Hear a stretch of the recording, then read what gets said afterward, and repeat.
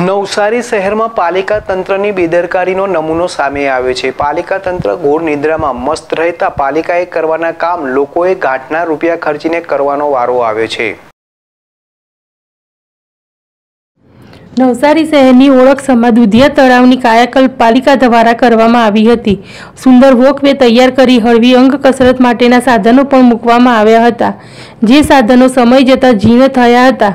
પરંતુ જીર્ણ થયેલા સાધનોની મરામત કરવાની ફુરસદ પાલિકા તંત્રને મળી ન હતી, જેને લઈ વોકવે અને સાધનોનો રોજિંદો ઉપયોગ કરતા લોકોમાં નારાજગી વ્યાપી હતી અને આખરે લોકોએ જાતે જ ફાળો ઉઘરાવી સાધનોની મરામત કરી નાખી હતી. જેનો વીડિયો એક જાગૃત નાગરિકે વાયરલ કર્યો હતો. વીડિયો વાયરલ થતાં પાલિકા તંત્ર સામે સવાલો ઊભા થયા હતા. જોકે પાલિકા સત્તાધીશો હાલ આદર્શ આચારસંહિતાના કારણે કામ થઈ શકે તેમ નથી, તેઓ રાગ આલાપી રહ્યા હતા.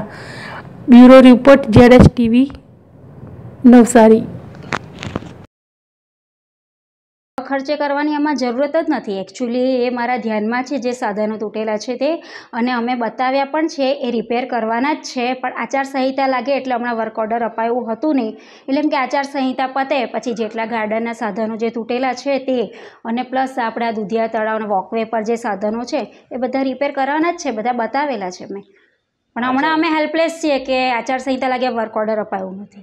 એવું નથી અમે પહેલેથી બતાવેલા જ છે પણ અમુક ખર્ચા જે લિમિટમાં જે થતા હોય એ હિસાબે નગરપાલિકામાં જે હિસાબે પાસ થતા હોય એ હિસાબે ધીમે ધીમે કામ કરવા પડે. એટલે અમે બતાવ્યા જ છે પણ હવે એમ કે કે હવે જ્યારે પેલું કરવાનું આવ્યું ત્યારે આચારસંહિતા આવી ગઈ એટલે કે હમણાં થશે જ નહીં વર્ક ઓર્ડર અપાયું છે જ નહીં.